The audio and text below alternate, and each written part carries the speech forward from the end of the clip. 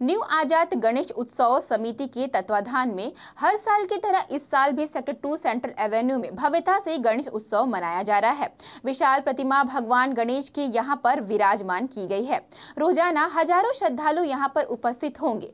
सपनों की नगरी थीम पर बने यहाँ के सेटअप को देखने और भगवान के दर्शन करने हज़ारों श्रद्धालु रोज़ाना यहाँ पहुँचेंगे। तो दर्शकों, आप देख रहे हैं, हम फाइनली बप्पा की नगरी में पहुँच चुके हैं, सपनों की नगरी में। न्यू आज़ाद गणेशोत्सव समिति की तत्वावधान में उनचालीस वर्षों से जो गणेश उत्सव का पर्व, हर्ष और उल्लास के साथ मनाया जाता है, उसकी तैयारियाँ अब पूरी चरम पर है और आज शाम को फाइनली बप्पा यहाँ पर विराजमान हो जाएँगे।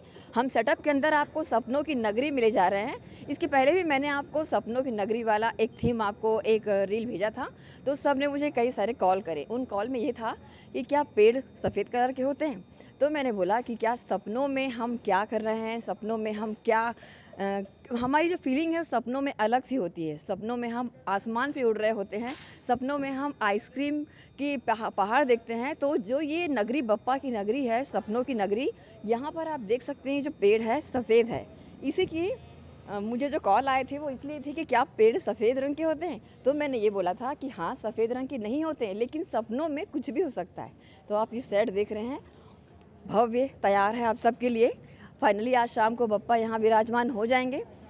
पूरी कड़ी दो महीने की मशक्क़त के बाद में इस पूरे भव्य सेटअप को तैयार किया गया है। कलकत्ता से आए कारीगरों ने बहुत ही बारीकी से एक एक फूल एक एक पत्तियों को एक एक सेटअप को तैयार किया है। बहुत महँगे इसमें इंस्ट्रूमेंट भी लगे हैं। थर्माकोल कॉर्क बहुत सारी चीज़ों से बने इस सेटअप को आप शाम को देखने आ सकते हैं। आरती में शामिल हो सकते हैं और पप्पा से आशीर्वाद प्राप्त कर सकते हैं।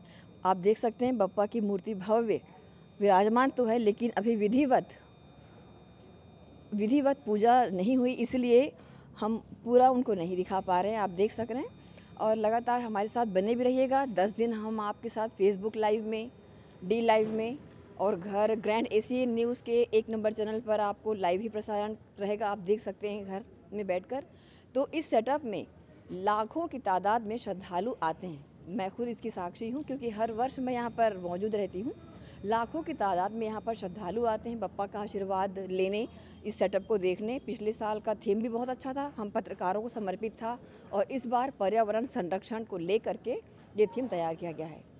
तो हम लगातार आपके साथ दस दिनों तक बने रहेंगे और दिखाते रहेंगे यहाँ की झांकियों को, यहाँ की प्रोग्राम्स को, यहाँ की आरती को। नमस्कार।